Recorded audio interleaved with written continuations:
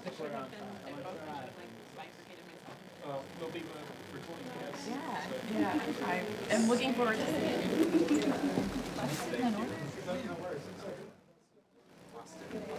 Nice to meet you. Still waiting on one house.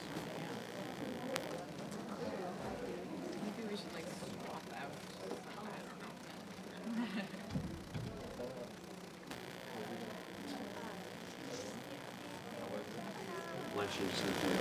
know.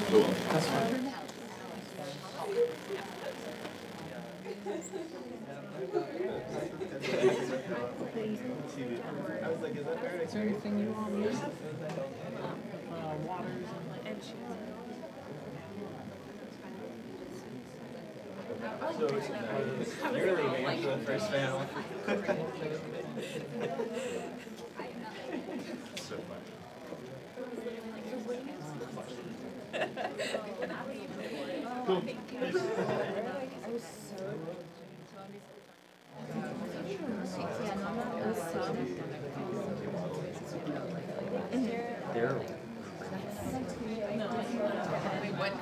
Oh, yeah, yeah, yeah, yeah. Yeah.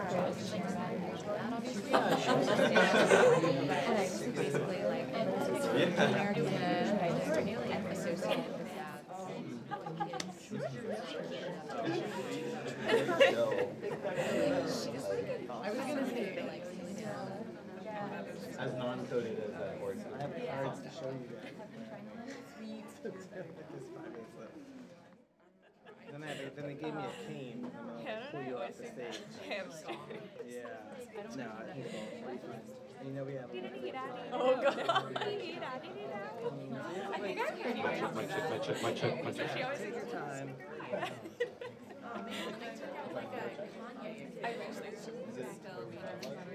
Me You get too. to it still or no? Also, do you remember your video together? Okay. Do you remember that? I could send back in right now. I was okay. I was about to say like, do you remember the banana video? But obviously, there's no forgetting. her and I was like, I can't believe you didn't watch that banana video. Wait, but do you remember the banana video? Paul, did you email me today? I did not do I I don't. She's like, she, Not like she's not she has a gift. Is all I'm saying. I feel. Give her a couple more minutes, and if not, we'll start, and I'm sure she'll roll. And somebody saw her earlier this morning, so Okay. just got turned around or something. Oh yeah, she sent me a video of. Take notes and stuff. Yeah. Yeah, that's what I was thinking. was, Um, she sent me a video of like it was like um, Note pages on the back of the program vintage Oh, great. video.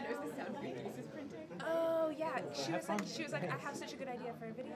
She got this like th- yeah that thing, and then she and then she, it was like the sound, uh, yeah, and then it was the sound of my thesis printing, and she overlaid the two, and I, I was like so like I've never had such a visceral reaction to a video and I cried, and I was like horrified and like really, it was really disturbing. The, the nurse was like.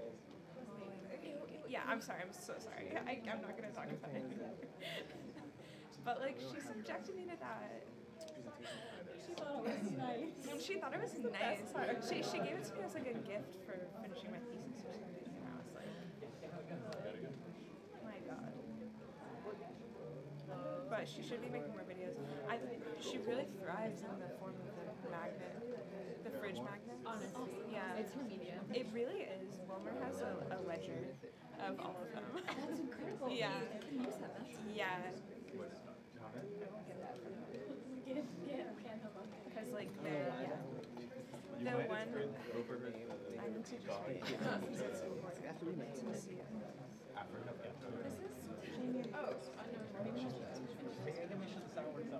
Oh really? Cool. Don't even know my own sample. Next level. This went up Tuesday night.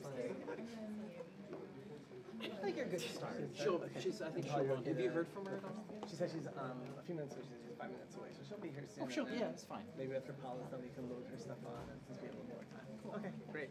Am I supposed to like actually like use the mic and? Like, Yeah, oh, yeah, yeah. Okay. You don't have to stand. Hi, everybody. Welcome to the Sound Logic panel. I'm your moderator, Terence Hannum. We have some great presentations. Um, Elizabeth Newton is on her way. Um, we're going to start with uh, Paula Harper's Unmute This Ubiquitous Listening and Vernacular Media Theory. Um, unfortunately, Meredith Graves could not make it today, um, but that gives our presenters more time and some more time for questions, which will be really great. Um, so please, if you're watching this on the live stream, please use the uh, hashtag uh, for TTW16 as well as hashtag B5 uh, for the think that's a five. Yeah, that was an S for a second. Uh, hashtag B5. Wanted to make sure uh, so we can ask your questions, and we'll follow up with Alexandra Molotkow's How to Love Music That Hates You. Uh, so um, I'm going to hand this over to Paula, and we'll have time for questions at the end. Thank you. Yeah, you will sit there. I will sit over here. Great, awesome.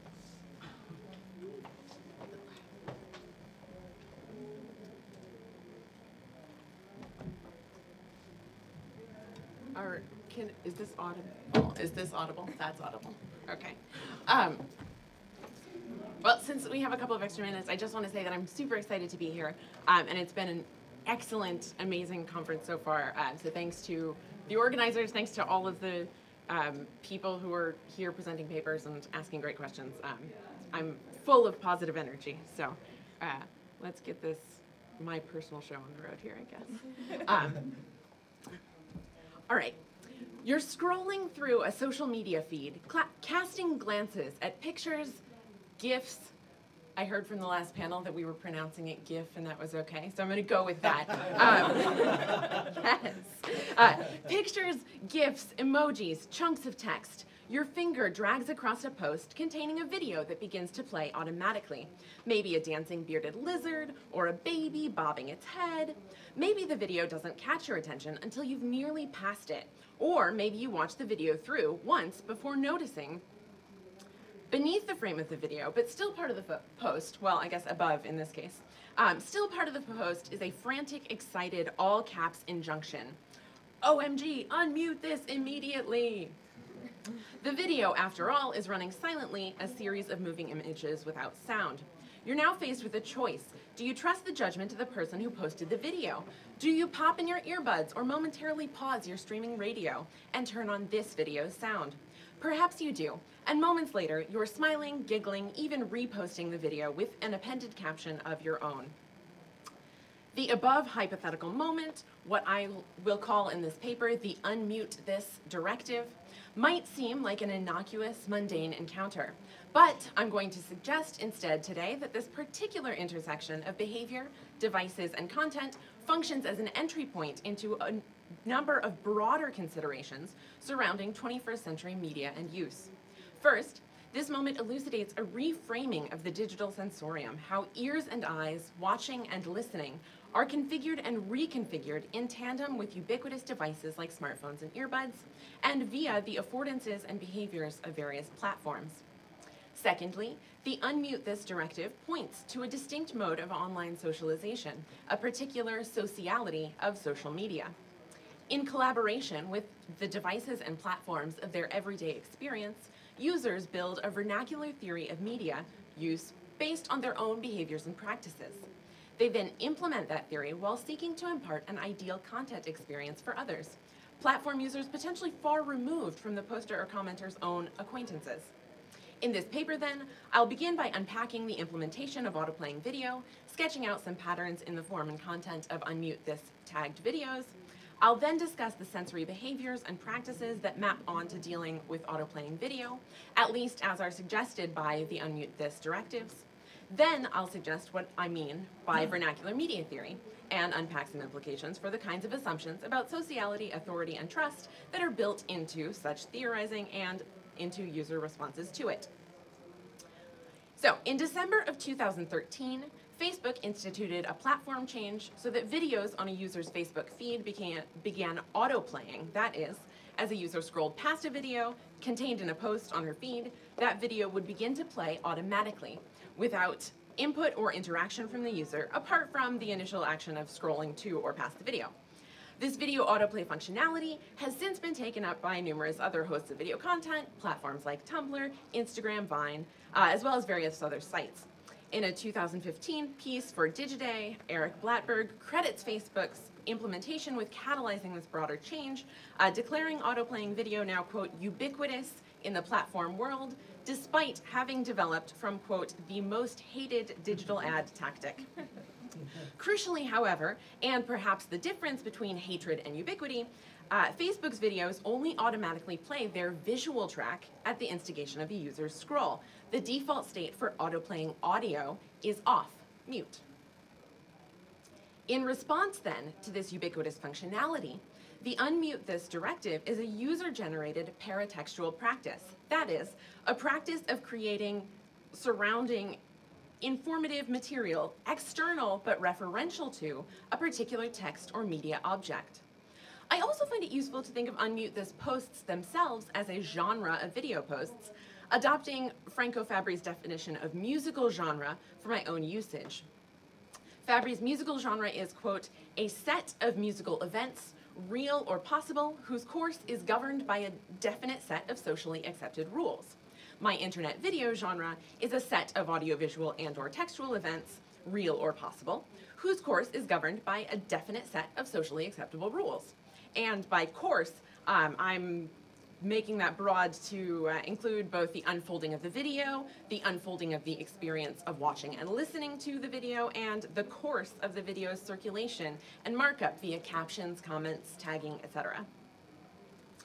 Unmute This videos as a genre tend to share certain audiovisual characteristics related by a single notion that the audio component isn't just vestigial, but that these videos are fundamentally audiovisual objects. Videos that acquire the unmute this directive via user captions are understood to be incomplete in their visual parameters alone. They are usually short, oftentimes but not always cross-platform reposts of six-second vines. Sometimes their visuals are bizarre or utterly banal. Um, importantly, they could make sense as visual-only objects, things that viewers might conceivably pass by and consume with only their eyes.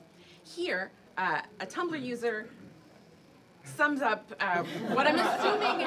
I'm assuming this is a sincere thank you for unmute this directives. Uh, he otherwise would have confused them for GIFs.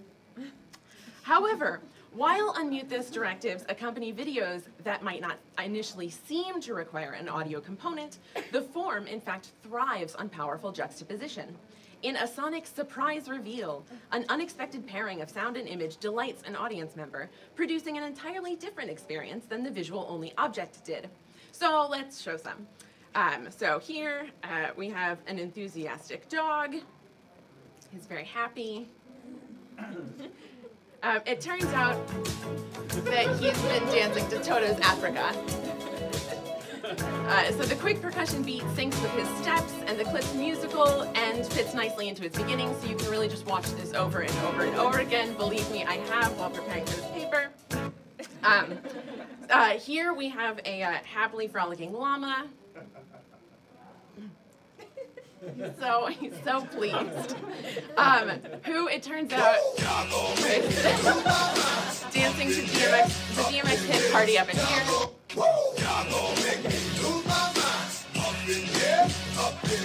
Uh, since we have extra time, I added this one back in. Uh, this is Kanye dancing at the VMA, the 2015 VMAs.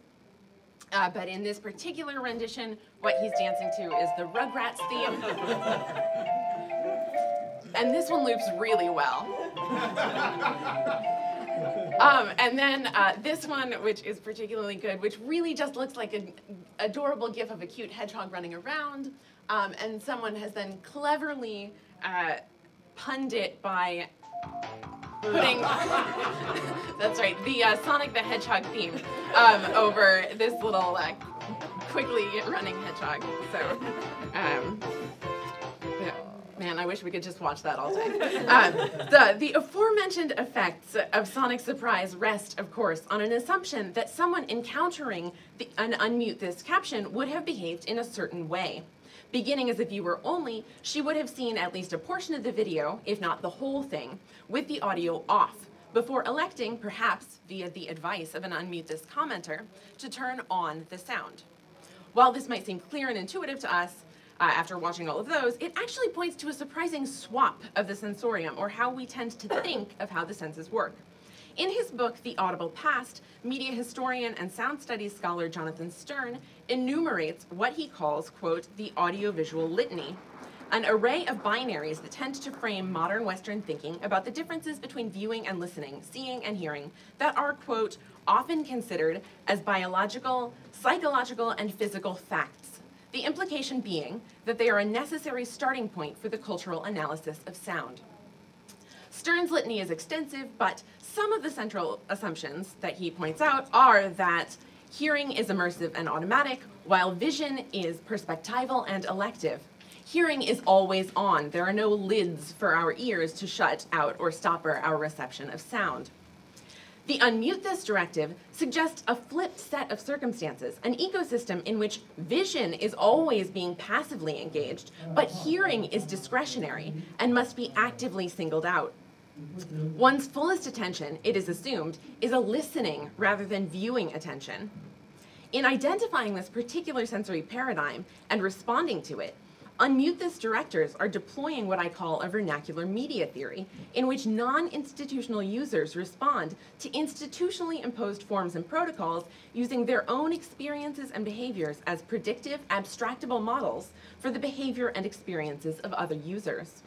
I'm drawing my vernacular media theory formulation from another number of recent theorizations of vernacular practice, um, including Robert Glenn Howard's theories of vernacularism in digital spaces, Howard suggests the web's potential as a locus of vernacular participation for transformative public discourse, but rather than a pure vernacular, Howard charts what he calls a dialectic vernacular, in which institutional and non institutional practices and protocols inform each other dynamically. Metatextual practices like the Unmute This directive reveal and in some ways work to resolve dissonances between institutional and user ideas of platform use and experience. Adding an unmute this caption is an outward facing, community serving behavior in which a user seeks to help other users achieve an ideal entertainment experience, one that she herself has had. Here, uh, we have just a couple of uh, Tumblr text posts suggesting the ways in which, uh, sorry, suggesting the ways that these tags function, both from the standpoint of posters for that first one um, and of viewers for the other two. Again, I'm assuming that these all are meant in earnest. Um, the behavioral response from users encountering the unmute this directive is then based on various evaluations of trust and authority, a judgment call on whether the full audiovisual experience will be worthwhile. After all, unmuting the video might involve interrupting some other multitasked listening experience. Determinations of an unmute this post's worthwhileness depend on further metatextual information, like numbers of views and reposts, quantities of unmute this captions, or the identity of the poster or reposter, and an evaluation of that person's taste and sense of humor.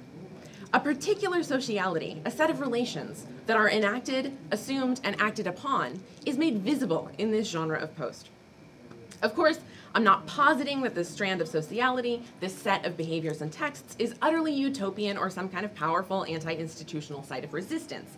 After all, the vernacular media theory in question frames a content delivery mode, auto-playing video, that was originally developed as a potent digital ad strategy.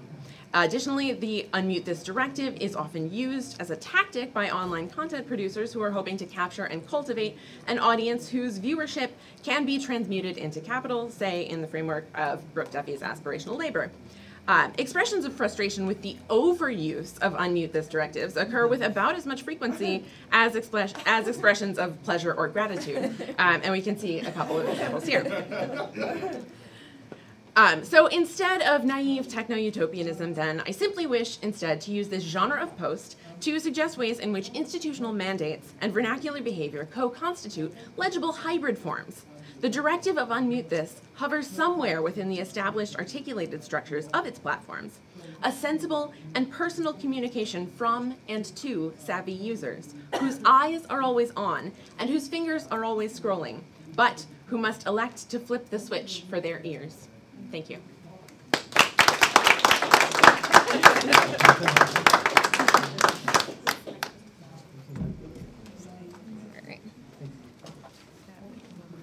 Thanks everyone. We're gonna have some questions at the end. Remember to please use the TTW hashtag and hashtag B5. Um, Elizabeth's gonna get her presentation set up, and then we're gonna hear from Alex, and we'll have some time for some questions in here. And if you tweet your questions, I'm gonna try and get them to them on here, and uh, we'll also be able to address them uh, while we're, uh, if you're watching the live stream.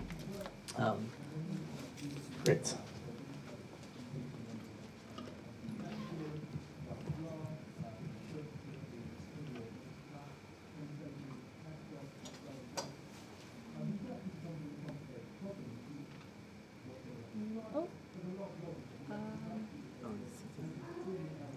To switch the view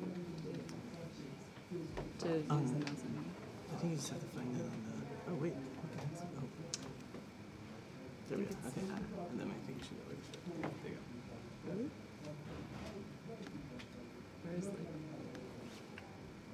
Do you want me to find it? I'm just gonna close this. Yeah, it's okay. There we go.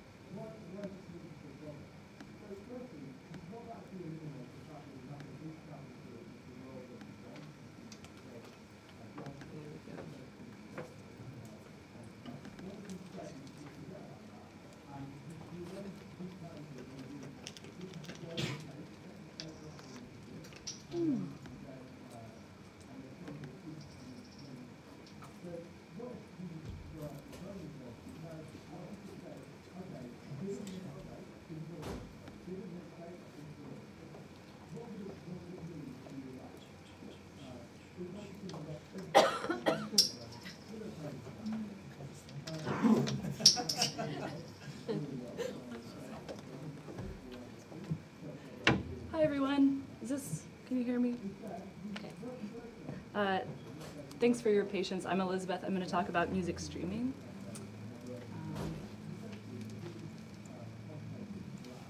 So, music is material. Sound can be touched, weighed, and measured. Music is made through labor using skill and instruments. Musical content is information, takes up time and space in the sky and underwater.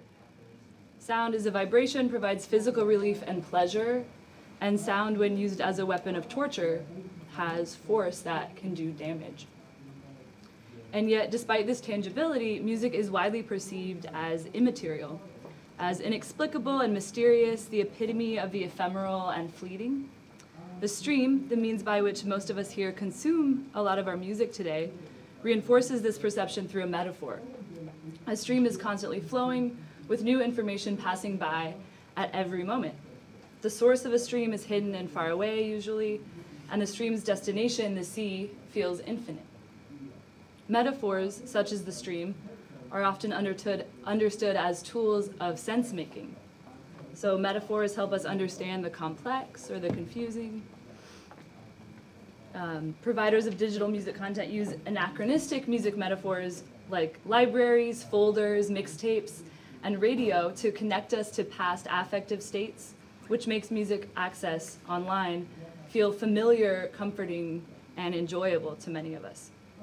Here, I'd like to argue that these metaphorical ways of understanding access often actually increase confusion about musical value instead of helping us make sense of it. In particular, metaphors such as the stream and radio confuse us as to sources of musical labor. Providers of digital music content such as Spotify, Google Play, Tidal, Apple Music, Pandora, and others, they all depict music in ways that exaggerate music's complexity and supposed immateriality. So music has long been understood as immaterial. And here Jacques Attali in his book Noise from 1977 says, the political economy of music is unique. Only lately commodified, it soars in the immaterial. It is an economy without quantity. Music's supposed immateriality has always made it difficult to value. As Martin Stokes, an ethnomusicologist, puts it, music has historically been understood across many different cultures as a sort of secular religion. So it's corrupted by its contact with any commodity form. In other words, music and money, by definition almost, seem to exist in separate moral spheres, and they're not easily exchanged. Music for many of us is a kind of social warmth which offers relief from a mundane world of economics and money. So these views are widespread even more recently. Um, a 2014 Billboard article says, recommendation algorithms increasingly suggest everything we may want to watch, read, or buy. But what happens when that logic is applied to something as personal, unexplainable, and previously unquantifiable as music? So music is often mystified as something that we can't explain, and by extension, something that we find it hard to value or price. Paradoxically, it's music's extreme value to us, the way it seems to exceed value or its pricelessness, that enables it to be undervalued. And Martin Scherzinger calls this sideropia, a reverse process of alchemy, the process of gold becoming iron. This is the process by which something precious to us becomes worthless in a capitalist system. Musical sounds, in particular, in order to be priced, have to be attached to an object that we can more easily value. So a piece of sheet music, a vinyl record, an MP3 download, concert ticket, band t-shirt, etc. This process apparently is a full-time job. Um, this month, Spotify is hiring a product owner in charge of monetization um, who can more efficiently monetize their products. And last night at the keynote talk, uh, Darius Kazemi mentioned the prevalence of the word delight in bot discourse. And so I was delighted to find that we have this. Um, so the goal is to more, the ultimate goal is to more efficiently monetize the products. Um, so the range of possible ways of doing this, of turning music into a commodified object that we can price, has resulted in providers appealing to a sort of confusing array of users' expectations and desires. In an effort to reduce the confusion and become more transparent, many providers make things more obscure. So Tidal, a hi-fi streaming service, has responded to demands for transparency by offering a sort of onslaught of charts and graphs trying to explain musical value. Um, Tidal knows that ethically they should be valuing music, which they foreground in their mission statement. Tidal believes in valuing music. Um, but they have no shame in admitting that for them, the destination of the newly added value isn't music, musicians or creators, but actually uh, it loops back into incentivizing support for streaming itself. Um, let's see here. Early marketing strategies for streaming unanimously emphasized the volume of providers' musical libraries or collections. And this is an approach that I would say Spotify exemplifies. And even as of this month, the company aims for an exhaustive catalog of music. Um, their website currently reads, we are constantly adding albums and tracks to Spotify and want to offer our users all of the music in the world. and I don't think that's going to load, but you can imagine. that being said, providers have begun to diversify their tactics. So Spotify emphasizes now also democratic access. Ooh, that's not loading. That's okay. Um, it's not too important. So they emphasized uh, dem democratic access by claiming that they have music for everyone.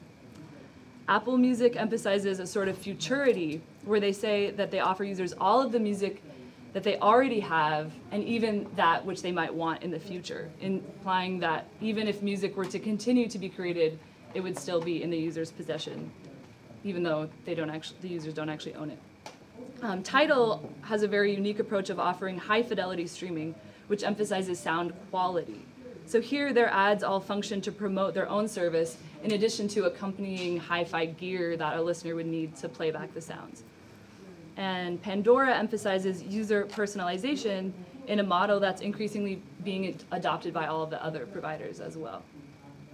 All of these approaches depict musical libraries as infinite and abundant, and yet specialized and particular. They portray access to music as globalized and democratic, even as they promote techniques of appreciation, listening discrimination, and good taste, which necessarily stratify listeners into inevitably unequal social categories. Under capitalism, advertisers typically produce a lack in consumers that their products are designed to fill. So in the case of streaming, once listeners have all of the music in the world and more, um, they encounter what could be considered a tyranny of choice by which they need someone to help them dig through these stacks of music. And increasingly, providers suggest that the primary service they offer users is that of curation. Amidst a sea of musical content, we need someone to guide us. Um, and this quote, which I'll skip for time, um, speaks, this is an article from last month that speaks to this widespread view. Um, in effect, streaming providers offer us all of the music we could ever want and more, and then they charge us for help in wading through it. And this task can be performed by an algorithm, which is exemplified by EchoNest, which is a, a platform contracted by Spotify, Twitter, MTV, and some other music applications. Um, Pandora and Tidal emphasize the human labor behind their curation. So this is a recent job posting. Um, as a musicologist, I know Paul is a musicologist as well. This is like the only job outside of academia that you can get as a musicologist. so it's like the only one. Um, and in Apple, the case of Apple Music, you can actually pay Apple to do the curatorial work yourself. So you can be your own station manager. You can be your own boss. Sounds great. The logic of curation is that music should be there to accompany a listener in any situation or context across changing moods. So Spotify says, match any mood. Google Play tells us that there's music for working to a beat, boosting your energy, keeping calm and mellow. So like many products under capitalism, the streams offered by music services are advertised as soothing the anxieties produced by the stressful workday that the very same music facilitates. So in other words, music is there to help us work harder, to focus, to be more efficient, but it also helps us unwind after that long day of work. Taken one step further, it's widely known that providers such as Muzak, now known as mood music, intend to not only accommodate listeners' rapidly changing moods, but actually alter the affective states of the listeners. They promise here to teach businesses on the left, um, to teach businesses how to better use music to encourage increased consumption. And then on the right, emotional experience would seem to be universal in that everyone has some sort of emotion. But the image on the right manages to link the concept of emotional experience, engagement, emotions, with this kind of vague notion of exclusive taste. And so I'd like to suggest here that streaming services, in foregrounding these various aspects of music and musical experience, obscure other, what I would consider more important aspects. And to return to Attali, he wrote in 2002, like Lent disguised as Carnival, the music industry is an instrument of social pacification. Um, it's a means, uh, a method of playing at fear, a trivial topic of conversation, and a means of preventing serious speech and action. It's not new news um, that when music becomes a form of mood modification, we begin to forget music's materiality. Our emergent preoccupation with tastemaking and curatorial techniques as a form of labor has led to a devaluation of other labors, namely musical performance. So I would say that focus on curation as a valuable form of work often obscures the content or object of that curatorial work. Music, meaning compositions, songs, recordings, live performances, which are also produced by their own type of labor. It's also not new news that streaming fails to fairly compensate musicians, songwriters, composers, and recording engineers. Journalists can't resist playing with the metaphor of the stream themselves when documenting a lack of compensation to performing musicians. Representatives of freelance musicians have long resisted a passive stance to what they perceive as inequity. The Rethink Music project associated with Berklee College of Music in Boston represents performing musicians of various genres of music. They recently published this 29 page booklet of fair music recommendations in the music industry. And they say the current lack of transparency appears to benef- benefit middlemen, but creators, consumers, and others in the value chain should no longer passively accept this. And they give this list of recommendations, which uh, starts from entangling the increasing complexity um, and then goes on to uh, basically the overall goal is to educate uh, musicians about their rights as creators. And they say very little actually about what consumers should do, which maybe is a topic for the Q&A. So in conclusion, I've suggested that the metaphor of the stream emphasizes music's immateriality and seeming infinitude in ways that romanticize music and which make music appealing to listeners. But this metaphor, meanwhile, distorts and disguises flows of actual musical value. Precisely because music is so precious, we find it difficult to value and price. Currently, providers of digital music imagine a world in which music can be all things to all people. Abundant libraries of music are globally accessible to everyone, even as they must be specialized for each user. And this personalization is achieved through the foregrounding of curation as a valuable skill, which helps us wade through this ocean of options. But it's also by nature expressly designed to stratify listeners and exclude some. This emphasis on curation and on, and on music as a tool of mood management uh, sometimes has the effect of maybe even pacifying listeners. And meanwhile, those who create the musical materials that are streamed and curated outrightly resist metaphorical complexity in favor of transparency and simplicity. Musicians are telling anyone who will listen If you continue to use us, you might use us up.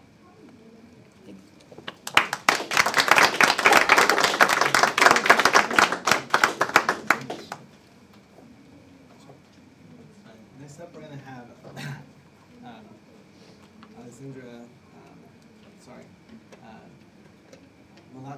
talk about how to love music that hates you. Um, and, and again, please remember to use the hashtag TTW16, hashtag B5 uh, for any questions and comments we're going to get to after Alexandra's presentation. Thank you. Hi.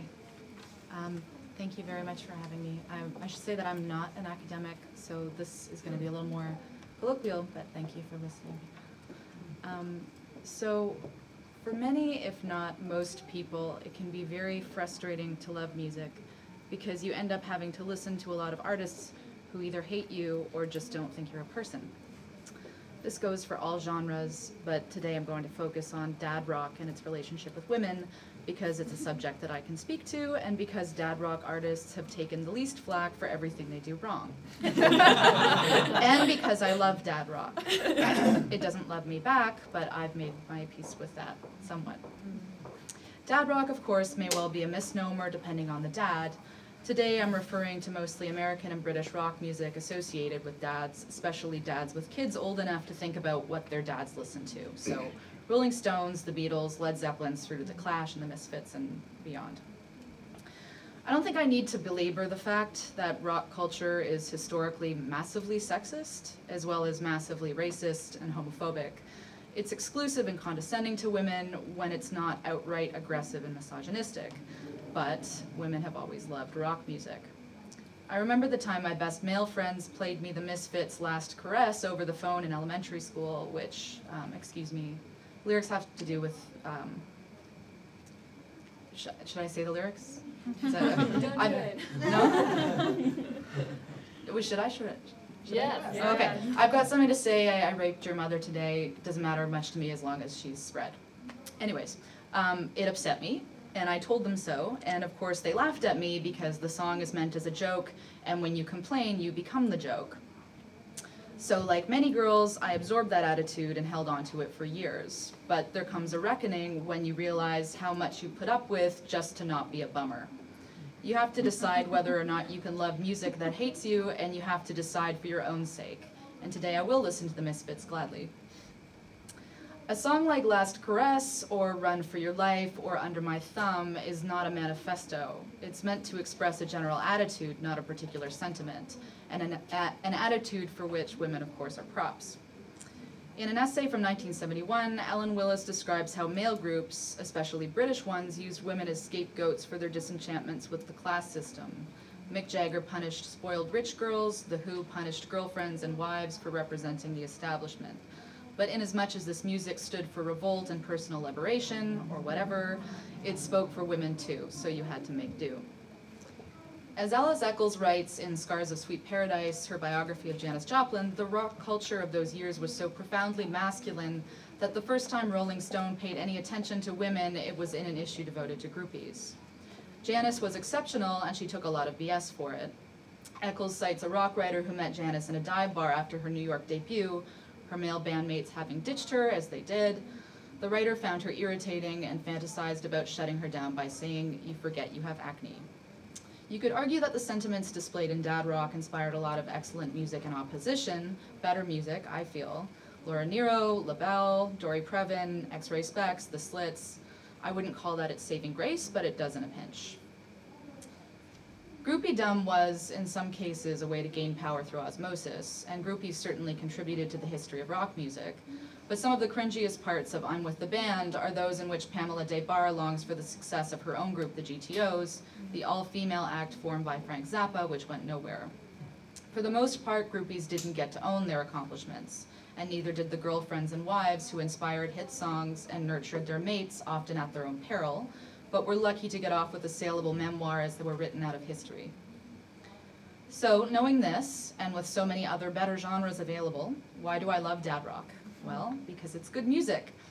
I mean, it's technically proficient because dads often care about that sort of thing, but also, I just love popular music, and at the end of the day, these guys were professional makers of pop music. I'm wary of this tendency to reduce people, especially artists, to the worst of their characters. I don't believe that bad ideas cancel out good ideas.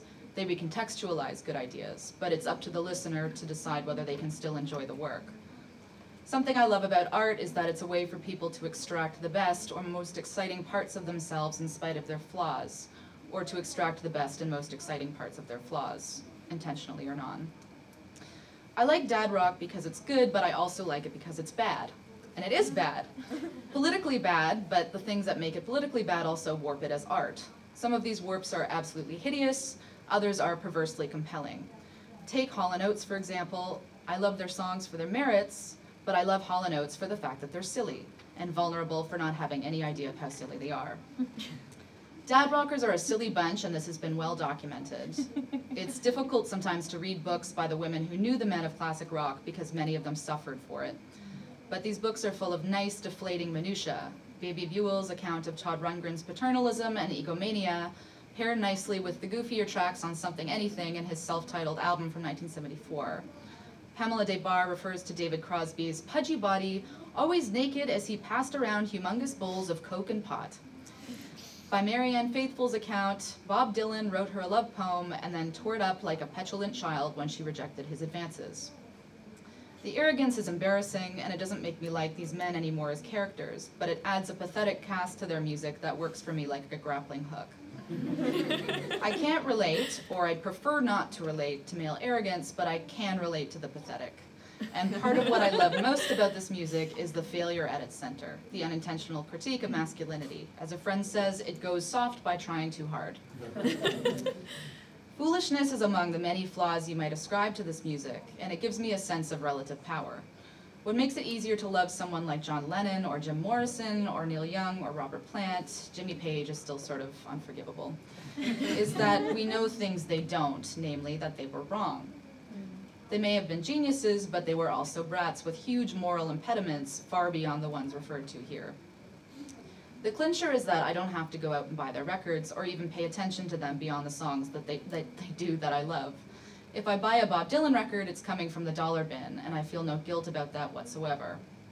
Record collecting, I should say, in my opinion, is a questionable instinct. The goal is to find this rare magic quality, take it home, and apply it to my life. The goal is to own it. And record collectors tend to buy used, spending huge sums of money that the artists will never see a cent of. Feel as though downloading music entails less of a sense of ownership, but as many have argued, listening to music in chopped up, playlisted form, suspended through your day-to-day, can erase its context, which requires seriousness and care. Except with dad rock. We've been selectively ignoring its context for as long as dad rock has, ex- has existed. On a good day, the music is hollow to me. I can fill it with whatever I like. I don't owe these musicians a thing, not even proper attention. I can chop up their work, play it any time, pair it with anything, and reduce it to background noise without doing any harm.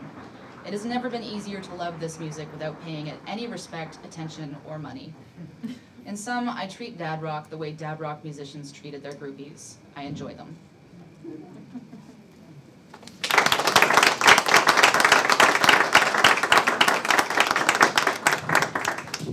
So we're gonna take some questions. Thank you to our presenters. Um, how fitting on Record Store Day that we're here talking about streaming and all the reissues of needless dad rock records on 180 gram vinyl.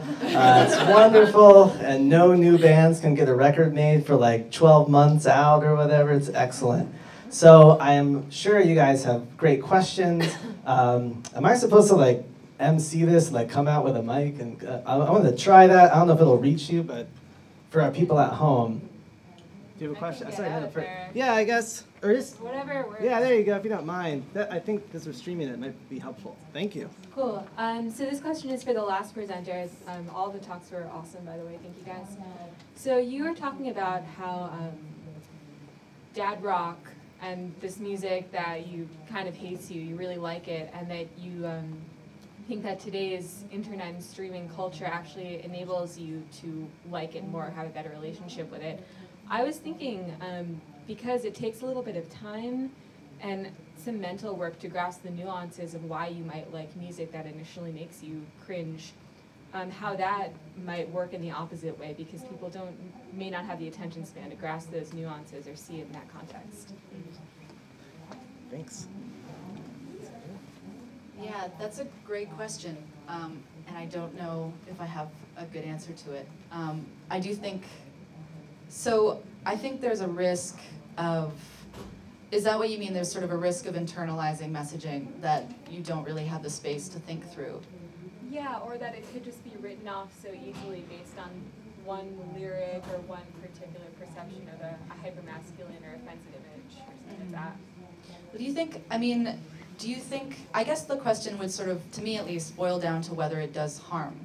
Because I think that there is, and I think that all of us in one way or another, regardless of what genre we like, you know, do make peace with a lot of music that contains messages that are objectionable or that are offensive to us personally.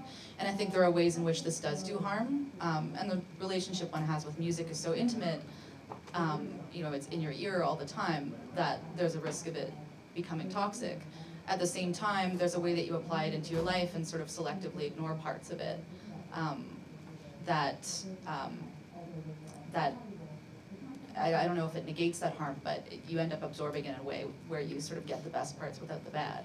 So I think um, I think I think it again, I don't really know if I have a good answer. I think it, it boils down to it boils down to the person and the relationship with the music. But speaking personally, I do find that being able to have music accessible in this way and being able to have the music to the other thing is I sort of when I was sort of in my earlier 20s I worked in record stores and knew a lot of people who were sort of hardcore record collectors and they were almost always like older dudes and there was this total reverence for like the object and the record and hunting down the record and having the record um, and I think sort of since I've been older and started listening to music more in sort of digital formats, um, the sort of lack of reverence or the sort of like ease I can have with the music and the way that I can sort of put it into my life without having to do that kind of like pilgrimage to the record store and sort of gossiping, like communications with the other people who sort of idolize this music, um, makes it feel more personal and sort of gives me a little more facility to sort of make it mine instead of,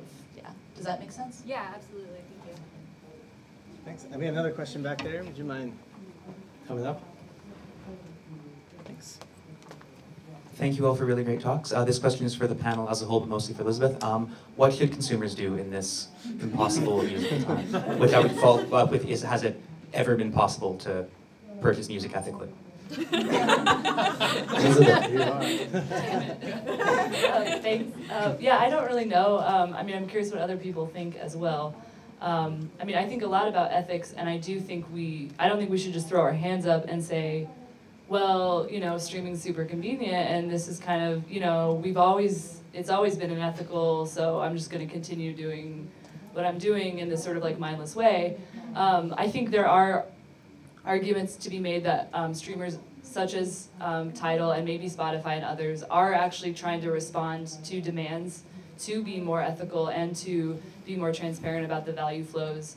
Um, I mean, as it stands, 73% of streaming royalties go actually to labels. So I find that in researching this, in researching interviews with um, streaming providers themselves, they often sort of like deflect the responsibility for adequate compensation onto labels and say, well, it's these labels that are the problem, like the middlemen who are not then distributing profits appropriately to the musicians and artists that are working under them. Um, I know there are also like, and maybe you all know more about this. I know there are also like indie, um, like aggregators. So like there are, there's uh, I think just like two or three main representatives that represent indie musicians as like uh, a communicator or whatever the word is with um, with Spotify, for example. Um, so I think putting pressure on those people to more adequately compensate musicians is great. But I also think that as um, consumers who are sort of just like in the mix, I don't think that we are um, that we uh, lack or that we don't have any responsibility. Um, I actually don't use Spotify. Um, I stream stuff on YouTube a lot, which I'm not sure is necessarily better, but I kind of like tell myself that it is in some weird way. But I think the best, I mean, I think of course it's always best to pay musicians directly and put the money right in their hands. And I think a lot of times people respond to that by saying, oh, well, like musicians don't really care. And I'm like, I don't know which musicians you're talking to because I know a lot of really struggling musicians and they always really appreciate it when you uh, buy. I think one good venue is maybe like Bandcamp, which I do think actually cuts out a lot of the stuff in the middle and actually does pretty, I think gives musicians hundred percent. Is there a, maybe there's a fee or something, but, through the label or something. yeah. Um, as a musician, um, the, I, I, I actually agree, Elizabeth. I think when you when you see the band um, live, that's the most money, the highest percentage that you're going to be paying to that band will be seeing them live, where they're getting paid for that performance, and then purchasing from them directly at that merch table will be the most direct uh, one-to-one relationship, um, and all their costs will be covered. Uh, outside of that, you're gonna get these if. Um, my the band that I'm in's on a label called Relapse Records, so we get this kind of quarterly statement, and we get to see that yeah, your YouTube play got us like a third of a penny. That was awesome. It's probably less than that, but we get to see it. We get this giant PDF, and it's really long, like how many times, you know. But um, honestly, it's it's nice to know, and it's also nice to know that the people that you work with are keeping track of this.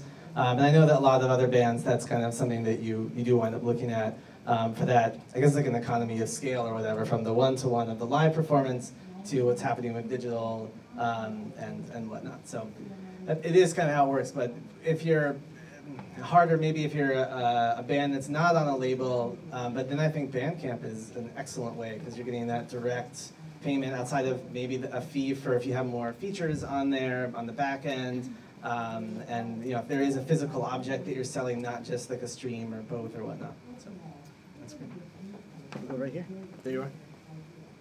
Um, I, I have another question about sort of like music streaming. Um, when I started using Spotify, I was so like tickled by these categories of like hipster brunch and like and um, like rooftop cocktails. Um, and I, I started looking at these things and um, um, I'm revealing myself here, but one of my favorite tracks is this like celestial white noise um, thing that like is great when I can't fall asleep or um, when I need to like really focus on reading um, or writing. And that I found that there's all these sort of like tracks that seem to issue from nowhere. Like there's no real artist and there's no like the artist will be like nature noises or some, something like that you know?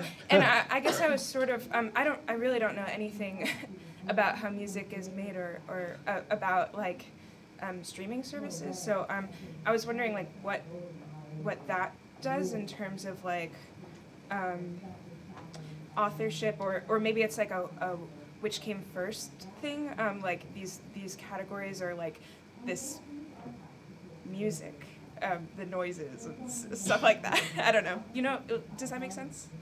Can I grab this and then maybe throw it to you? 'Cause Yeah. I'm sure you have many thoughts about this too. Um, You talk about genres. Yeah, too, so yeah.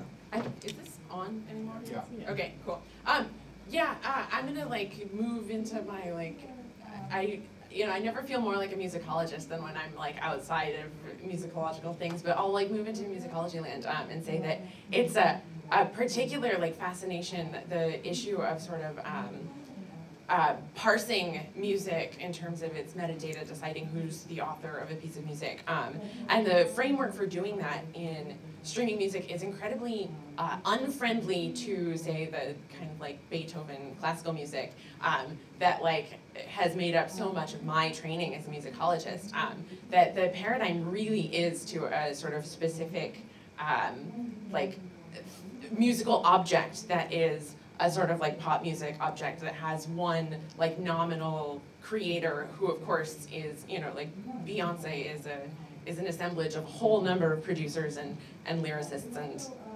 um, you know collaborative people. Um, but that the the sort of single author ideal um, that the the singer performer is the author is the the person to whom this belongs um, means that a lot of the, a lot of other kinds of music um, don't get sort of attributed in the way that we then understand music to have ownership, music to, to belong to or emanate from a person. Um, so yeah, this is a huge, huge deal in uh, classical music. Um, there are lots of huge deals with classical music um, well, yes, but um, but that uh, like I, I think I'm not sure if I'm responding to your question, but what your question is making me think of is the way that streaming services really sort of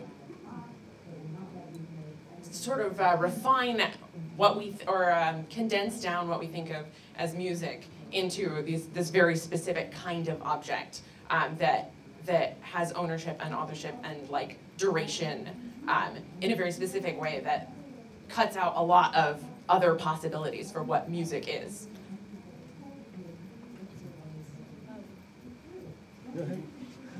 Yeah, I mean, I think on the same note, I think it's just like with streaming, like the example you give of some like ambient soundtracks or something like that. Um, I think those are really interesting, and I think that uh, they definitely kind of uh, make the author invisible, of course, because they're not giving an author. But at the same time, I think um, in other cases on the streaming platforms, they do really, really emphasize authorship when it sort of benefits them. Like for example, um, I think Apple Music maybe is the best case where they they're using like kind of star power to really value add value to their services, where they have um, they recently bought Beats, I think. So it's like they have these partnerships with Jay Z and Beyonce, et cetera, and so they're using these stars to sort of, I think, respond to our calls for, for greater transparency and ethical uh, music consumption. And they're like, no, how could we be unethical? Like Jay Z is doing just fine.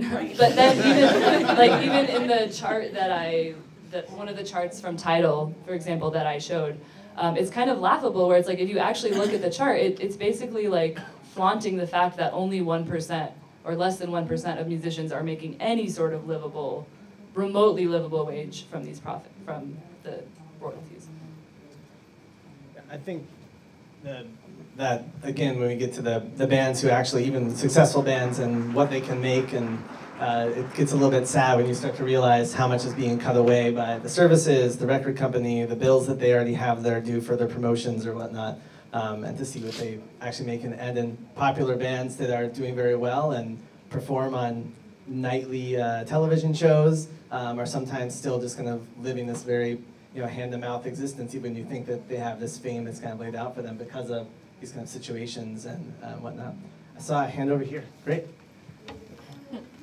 I realized in one of yesterday's talks that um, Bitcoin's blockchain innovation is basically what could be used to get musicians and writers and creators of all kinds paid for their work, you know, because then it validates the original and then constantly tracks it. And you could constantly get this inflow of funds into your bank account. So is anyone working on this?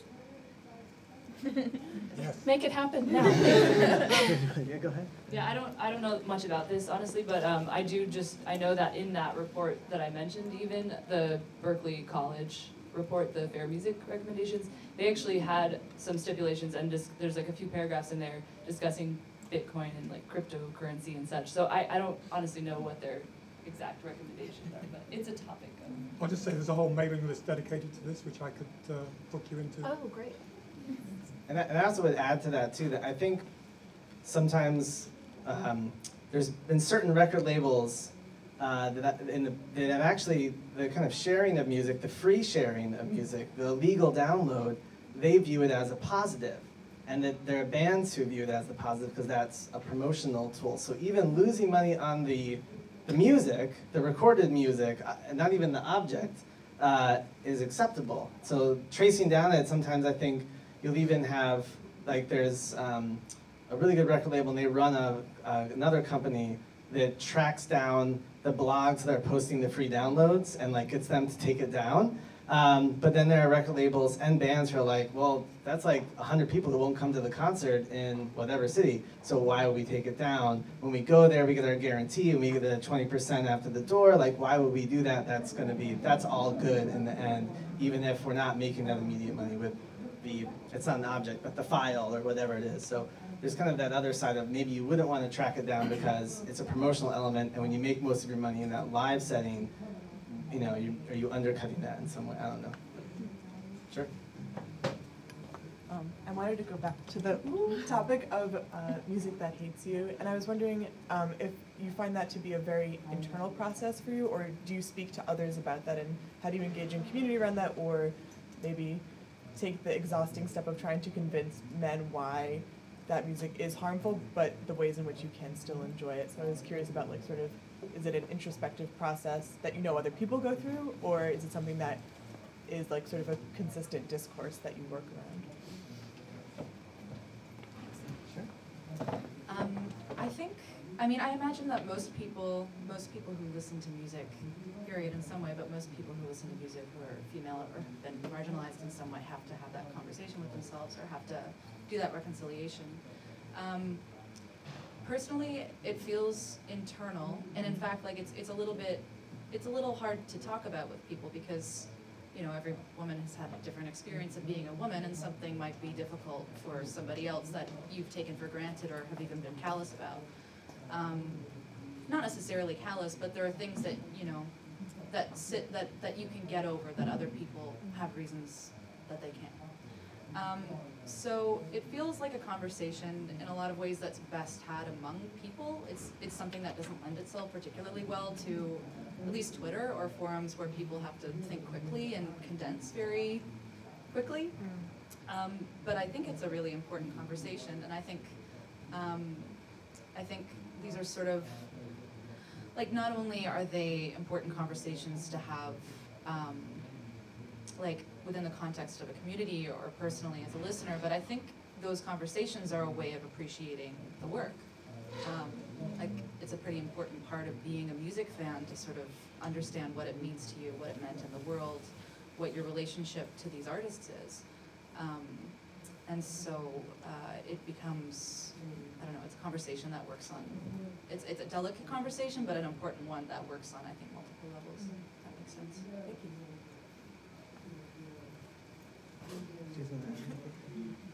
Another question over here? Sure. Um, so I've seen this mostly in music, but it's probably like maybe applicable to video as well. But I noticed that musicians often are not involved in the technologies that determine like the future of their careers. So like Spotify was founded by computer scientists, and like there there aren't that many artists, as far as I know, like on the Spotify team as of now.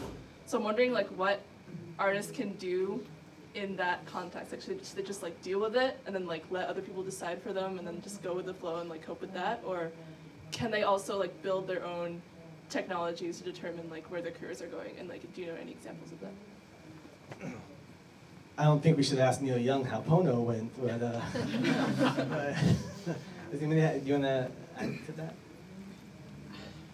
My only response is, my only response to this is really pessimistic. Um, I don't know, so maybe somebody else has a more optimistic response to this. Um, is that, um, like my sort of immediate, like glib off the cuff response was like, well, like musicians should probably learn to code too while they're at it. Um, but this, to me, I feel like is part, that, that glib response is part of this idea, um, that a lot of musicians, both sort of classical, conservatory trained, and um, you know the sort of uh, gigging pop musicians are um, in like contemporary capitalism uh, supposed to be these sort of multi-flexible entrepreneurs who like they're not just supposed to be musicians they are supposed to be um, incredibly savvy on facebook and they're supposed to be able to like produce and edit their own youtube videos for their youtube channel that of course is netting them like you know fractions of pennies every month and is netting youtube more than fractions of pennies every month. Um, and that like so you know i i guess i'm not you know i'm not entirely resistant to your question and i would love to like ha- come up with a brilliant sort of utopian strategy for um, musicians as musicians to sort of find a, a, a workspace that works for them. But I feel like the answer that I'm most inclined to give is that, oh, well, musicians also need to be able to do more things. They need to sort of um, have this sort of uh, multi tentacled entrepreneurial ability uh, that just sort of slots them, in my pessimistic view, ever more into the sort of like nets of uh, contemporary capitalism. So uh, I don't know, please someone say something more optimistic than that. I, Go ahead. Yeah, well, yeah, was just say- I mean, I share the, I share the pessimism, unfortunately. I mean, I think this is a really important point. This idea that musicians are like in line with music being sort of immaterial and compared to other comparison with other commodities. It's like we have this idea that music is exceptional in a lot of ways, and I think that trickles down. Sorry, trickles to the um, the level of like entrepreneurship, where it's like you would never expect probably a chef who has this kind of specialized distinctive skill of being a chef in a restaurant. You would never expect them to be doing all of these other um, related activities perhaps that um, that like secure their employment and and payment. And in the same way, it's like if you ask someone like who who uses music streaming services or who pirates music, and this is an old argument, but I'm just bringing it up because I think it's important st- still. Um, it's like maybe cliche, but it's like you would never you would never st- like steal food from a restaurant, but you might easily. Most of us probably have pirated music, and I think the logic there is that it's like, oh, you know, food is like a real thing. But then whenever I talk to a friend, I'm like, yeah, but you eat it and then it's gone. Like, and it's like, and then you like. And, and then it's gone, and so it's like I don't think that it's actually. it's if once you start really parsing it out, it's like with these sort of thought experiments, it's like music actually isn't maybe that much different, but we sort of allow ourselves to think that it's really exceptional um, because it makes it easier, and we just don't want to have to pay for it. Is the bottom line. Like, um, but I'm not sure that answers your question. Yeah, it does. Question right there, sure. Yeah. You want, you can shout it, I guess, Okay, you don't to like yeah, do the mic. I Yeah, that yeah, yeah. You just hit on something really important, which is I think that when we're talking about like musicians and the internet and how we can make platforms that better serve musicians, um, and think about like how to get to a place where there are musicians involved in the conversation of what the platforms look like where we're sharing our music and um, how to make them like more in line, especially when we're thinking about independent artists, like more in line with the politics of independent artists. Um, what you said about musicians learning to code and musicians like teaming up with people who have like these skills and these tools to make platforms that are like more reflective of like what musicians like actually want like that's like totally in my perspective like um, like a really important part of the conversation. And there is this organization called cash music based in the pacific northwest that is like team a team of musicians and coders who are working on open source software for musicians that would enable them to like make their own they don't take any money at all i was wondering if you're familiar with cash music at all or any of these projects to like team up musicians and coders to work on tools together No, but I think that you absolutely did the thing that I was hoping that you, you sort of transformed my uh, peasant. So um, rather than uh, putting the onus on the musicians um, to sort of become everything um, at, for free in the hopes of making money someday, um, that like collaboration as a strategy um, seems uh, yeah a lot more productive than than my pessimism. Um, I haven't heard that, but I'm gonna check it out. Um, so thank you. Yeah. Although I was gonna say as a musician, I don't know where the time comes to learn how to code and like write the music and like, you know, be a social being and like have your family and all that stuff. Like, now I gotta code this thing? Oh man, a lot of stuff. Go ahead. Thanks. I- I'm good. Sure. I, I just kind of going off of that, and I'm curious what you guys think. I, I feel a certain, maybe some other folks do as well, anxiety around that idea and the idea of collaborations between artists and coders and whatever it is, especially in the sense that it just further kind of enmeshes art and the creation of art in the logics of capitalism and, and kinds of materiality that, that do, you know, as much as they may contribute to the, the, you know, ability of artists to survive, that also kind of reduce art and the creation of art again to just another sort of labor for the creation of surplus value or whatever it is. So, I mean, it seems like, or, or how would we feel about kind of broadening the conversation to like a more macro level where it's not just it's not just artists and creators of content that need to escape the sort of bonds mm. of, of you know wages and wage labor, but then we all sort of we have to move everybody beyond that. And you know I'm not sure just I only bring it up just because I'm not sure how great it is in the long term to tie those things up even more tightly than they already are. Especially since like YouTube is broke. Like YouTube doesn't make any money. YouTube only makes money because it's owned by Google and Google's share price goes up. Like YouTube has never made any money. So these things are it's like it's not like a foregone conclusion that you build a service and you get some artists and coders together and they're gonna be able to make some money. It's like really hard to do that. And you just wind up tying it all back up. So Yeah, I mean, I think that's kind of, yeah, so the artists, yeah, I think that link is an important thing to this, to, to address. Um, do you want to add anything to that? Go ahead, sure. Yeah, I, I share the anxiety. You're saying you have that anxiety. I do. Yeah, I share the anxiety. I mean, I tend to be very old school and kind of like, I don't know, like I'm kind of a curmudgeon where it's like I, I don't really stream music that much. It's like I buy, I mostly buy CDs and tapes from musicians. I don't actually own that much music. And I, I don't necessarily, I mean, I, I, I want to like advocate that and like only buy music literally from the bands that you like or within reason or something. But I don't, I mean, I don't think that's a viable recommendation for the industry at large because I understand that it's like, that's a, that is a naive view that I hold and that um, in the larger world, I think that it does behoove us to think about, you know, these, maybe these more optimistic platforms where there, there are people that have some interest and energy that they're willing to commit to collaborating between these different spheres. Um, I, I mean, I definitely share the anxiety that further enmeshing seems to kind of like reify, or whatever, to continue with the Marxist language, like reify these um, like harmful systems. Um, yeah, so I think it's, I think, I think th- in terms of like action to take, it's like kind of a balancing act where if we're all conscious of what we're doing and then making the most of what we can with these, um, these other options for collaboration and thinking about how to do that ethically. And we have time for maybe one more question, if anybody has another question. We've had some good stuff so far. All right, great, right up front. I don't know if you want to use this or not, you can. Um, no, I think I'm okay. Okay, all I'm close enough. Okay. um, I had a question. If I was wondering if any of you had any thoughts about why certain older forms of m- music piracy have kind of like remained enshrined in myth or romanticized in a way, like in the public imagination they're viewed largely positive. And I'm I'm thinking of like live tapes of Grateful Dead shows, or even just the act of like making a mixtape from the radio. And I wonder if like the reason that we continue to view those more positively, like, is that just because there was a larger like net loss for the artist because acquiring that required more labor from the person and it was less ubiquitous, or if there's like something else at play um, in the reason why those like older forms of piracy are kind of like viewed really nostalgically and positively.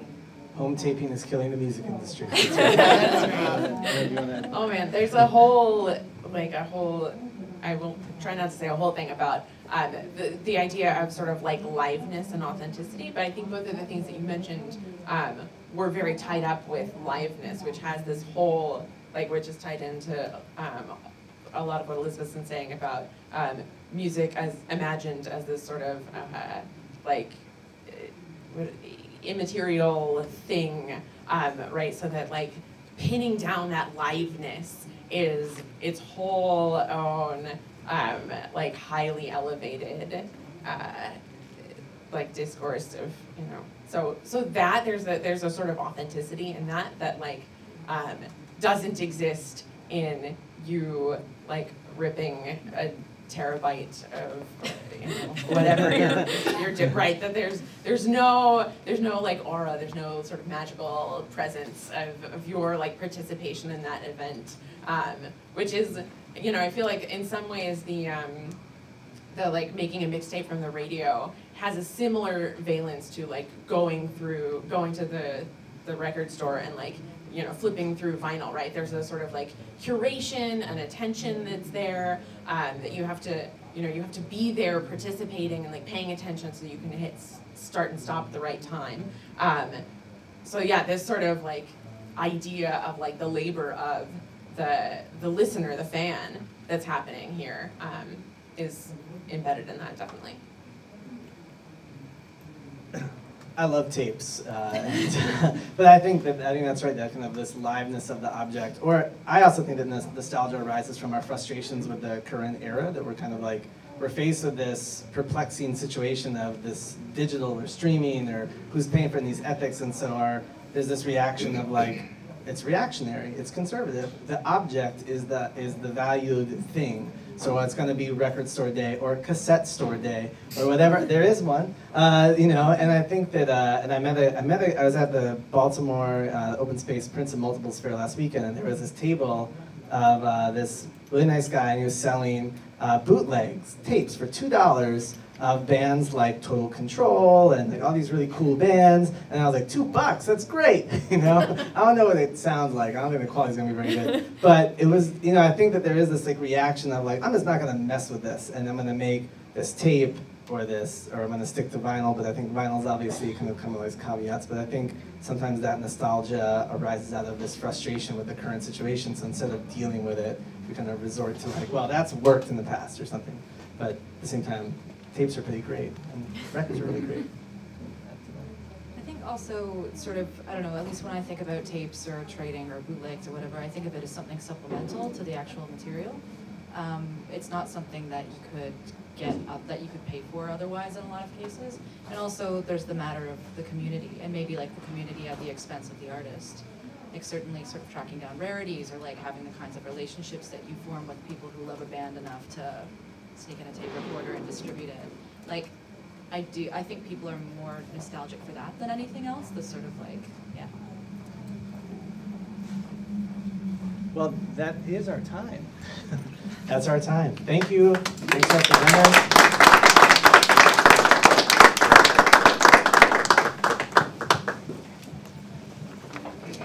No, it's okay. Don't worry about it. It's fine. Well, I'm like so caffeinated. Oh my god, I feel crazy. I just felt like so sweaty during that panel. I was like, I'm, my heart is racing.